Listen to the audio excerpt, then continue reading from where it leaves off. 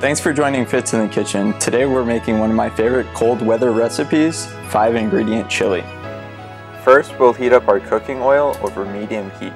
I'm using Thermador's Pro Grand range with their patented star burners that are designed to heat up your pan evenly. Next, add 1 pound of ground turkey to your oil. Despite popular belief, ground turkey is no healthier than ground beef, so get whichever you prefer, just be aware the less fat content, the better it is for you. When the meat has browned, add one small diced white onion, four 10 ounce cans of diced tomatoes with green chilies, including the liquid, three 15 ounce cans of drained beans, either black beans, kidney beans, or a combination. Both types are great for your heart's health. And two tablespoons of chili powder. You can add a bit more chili powder if you like your chili a little spicier. Next, we'll decrease our temperature to medium-low, mix our chili, and cover our pot with a lid.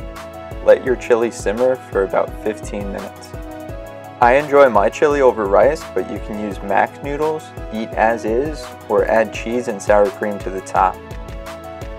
Thanks for checking out this episode of Fitz in the Kitchen.